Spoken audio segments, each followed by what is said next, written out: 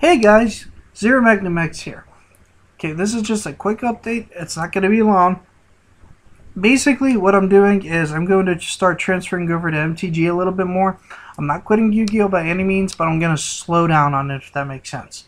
I have three factors behind this. Number one, Yu-Gi-Oh! is virtually dead in my area.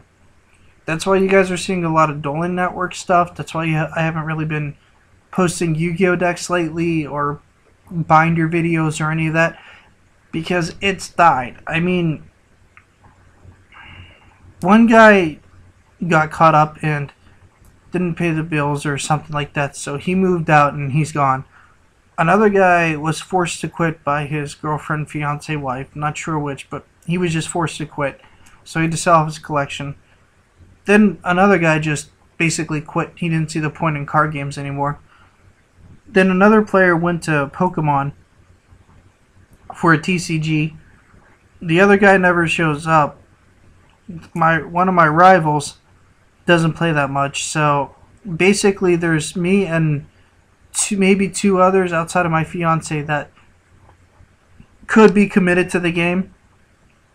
And even with that said, it's not really looking good.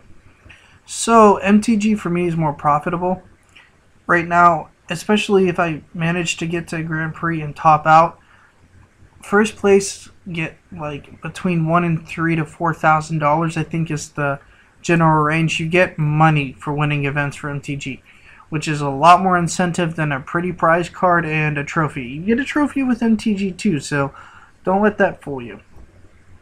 There's a lot of Grand Prix, a lot of Star City Opens. Uh, Grand Prix are the way into the Pro Tour, and the Pro Tour Grand Prize is like $40,000 if you win it all. So it's pretty cool and that's why I like it. So I'm taking not a break from Yu-Gi-Oh, but I am going to be less active with it. For those of you looking for another card game for the ridiculous ban list format, Magic is a solid game, just saying. I just gave you a few reasons why it's a solid game. So, it has a lot of good qualities about it, so don't just dislike this video or whatever because, oh, it's about another card game. I like TCGs. Okay. What this means for you guys is that I am looking for Magic the Gathering stuff for my Yu-Gi-Oh stuff. Not all for all or anything like that. Okay, but what I'm saying is like let's say you've got I don't know between a 7 to 30 dollar Magic the Gathering card and you want like seven to thirty dollars worth of my Yu-Gi-Oh cards, we definitely can make a deal. We can talk it out, and I will accept MTG for Yu-Gi-Oh in a heartbeat. This doesn't mean that I'm going to take stuff that isn't standard legal. Okay, outside of the swords, and I'll get to that whenever I get to my ones.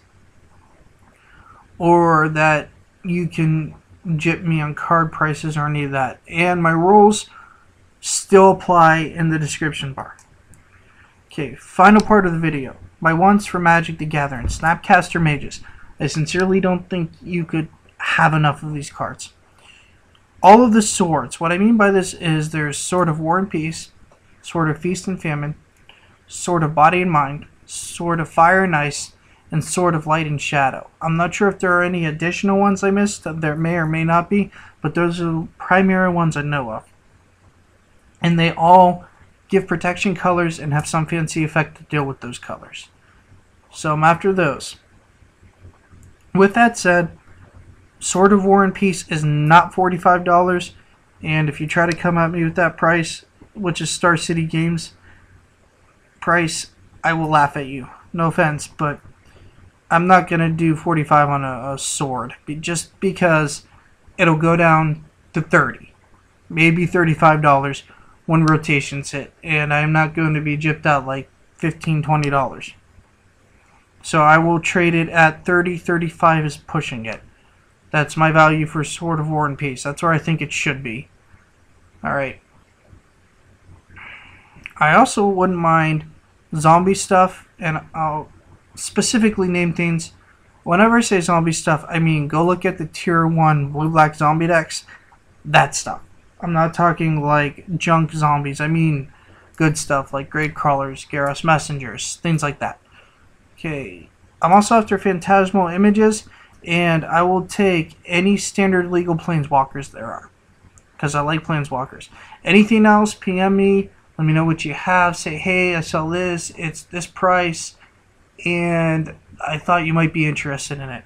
I'm a blue player, or I go by Esper colors, blue, black, and white.